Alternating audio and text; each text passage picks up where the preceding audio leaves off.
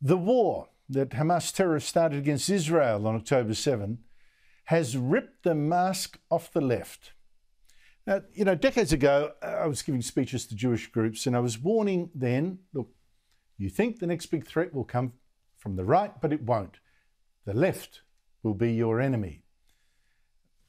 Few wanted to believe it. I mean, Jewish intellectuals tended to be of the left themselves, and they thought they were making alliances with the so-called oppressed, with academics, thought leaders. They were doing, you know, interfaith with Muslim leaders, etc. They didn't want to admit that they would be betrayed. But look now, I have never seen from the left such naked hatred of Israel and even Jews. And most of this hatred justified by lies and the left's perverted new ideology. That's important. That's the thing I saw coming. And what you've got now is often a pitiless hatred. I'll give you one shocking example. It's from an academic from Sydney University speaking openly of the October 7th slaughter of the Jews by Hamas, children even being burned alive, parents murdered in front of their children, a pregnant woman torn apart. Here he is. I'm not going to stand before you and shed tears over the settlers. No tears for the Jews, not from some on the left, or maybe even many. Now, you may wonder where this comes from, this, this hatred of Israel where you've got even in Washington, the woke capital of the United States, more than 100,000 people, not just Muslims at all, marching down with Israel. And this hatred of Jews as well, where even Jewish students in a very left wing campus like Harvard get monstered by the left.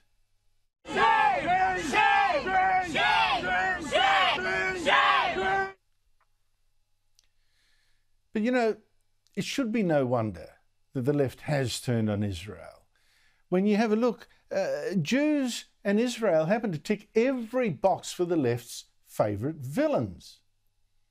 Now, most obviously, the Jews of Israel are too white for the left because the left's identity politics today say, well, that says white is the colour of oppression.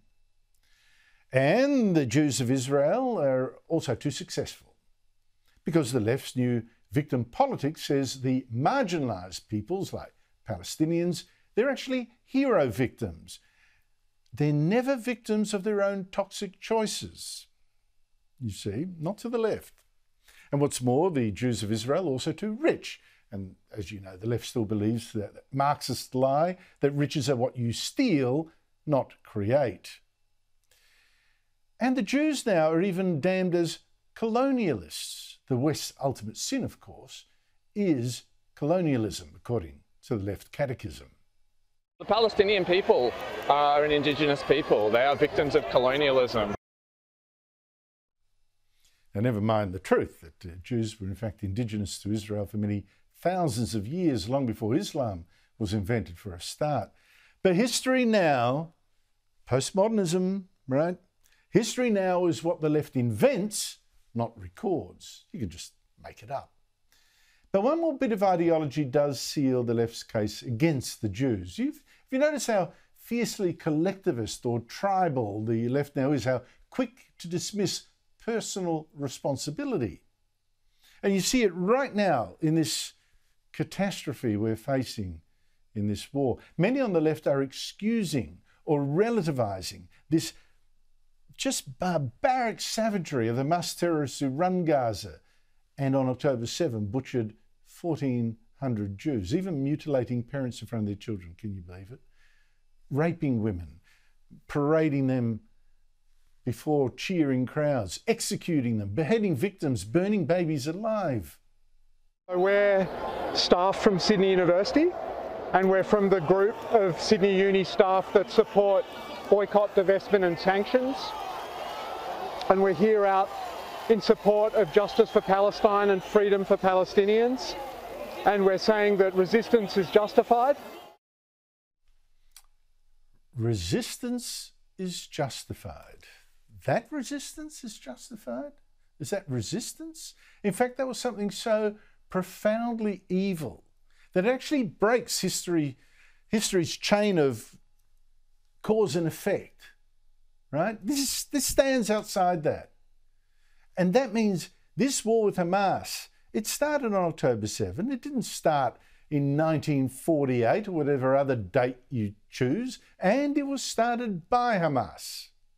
But not according to the tribal left, not include, according to Antonio Guterres, the United Nations idiotic Secretary General. You know, as if treating the Hamas terrorists as if they're just sort of impersonal dominoes. You, you tip them over. History tips them over with a fat finger and tup, tup, tup, tup, tup. They've got no moral decision making of their own, no decision making that we've got a damn. It is important to also recognize the attacks by Hamas did not happen in a vacuum.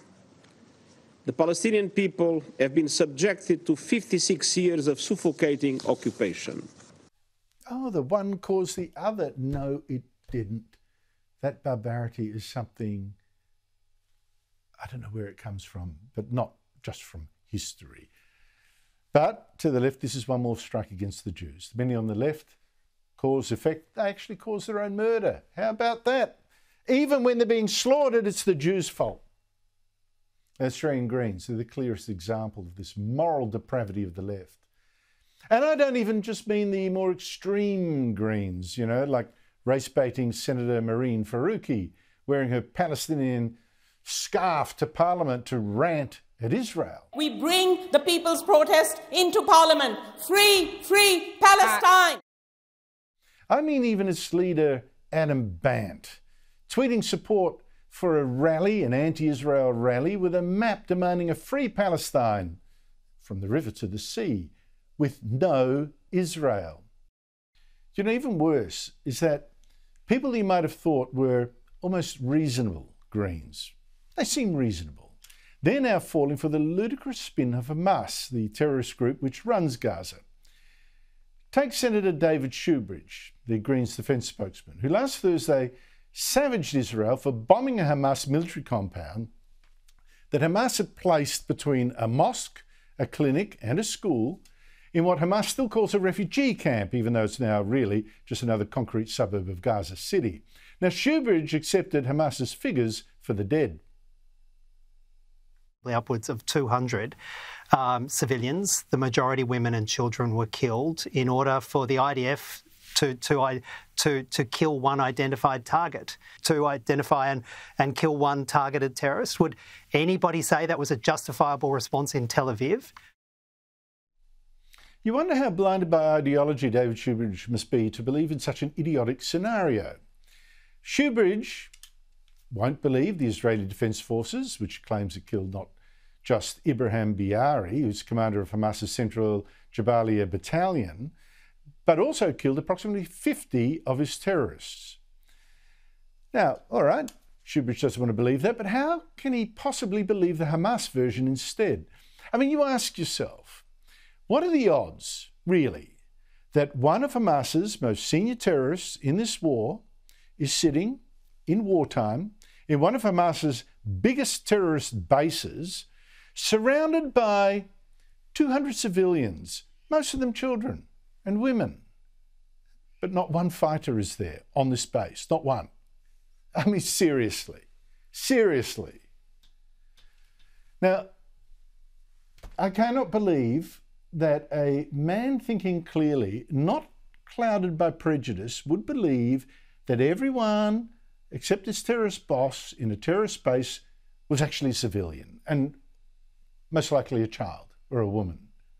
And it stuns me that so many on the left, particularly journalists, still believe the wild claims, implausible scenarios, and often inflated casualty figures of Hamas. It's like they seem to think that terrorists who happily burn whole families of Jews alive, who film themselves slaughtering kids at a music festival, they film themselves. They parade the bodies of Jewish women in the streets, dead women in the streets as crowds go, Yay! That they do all this, but there is a certain line for them. God forbid they should tell a lie. Really? Oh, yes, yes, we murder babies, but we'd never tell a lie to a journalist. I mean, what is going through your mind to to think this, to believe that. And that is why I, I cannot rule out anti Semitism. When I hear leftists, otherwise intelligent, most of them, repeat the propaganda of these lying Hamas butchers while sneering at the claims of Israel, democratic country, free press. For instance, the lie that you still hear that Hamas uh, lie that uh, Green Senator Jordan Steele John immediately parroted that hundreds of Palestinian civilians were killed when those wicked Israelis committed abhorrent crime and bombed a hospital, when you can in fact plainly see that what was hit was not the hospital but a small car park. And when all the evidence says that it was hit not by an Israeli bomb or missile, but with a misfiring Palestinian rocket. And of course, when the death toll is now thought to be dozens at most, not hundreds, as Hamas claimed. So ask yourself, why this willful gullibility of the left, so many on the left, to the lies of Hamas? I repeat, it suggests anti Semitism. That their default position, of course, the Jews are more likely to be the liars and the murderers. Hamas, their truth telling victims. Just as the new ideology of the left would suggest as well.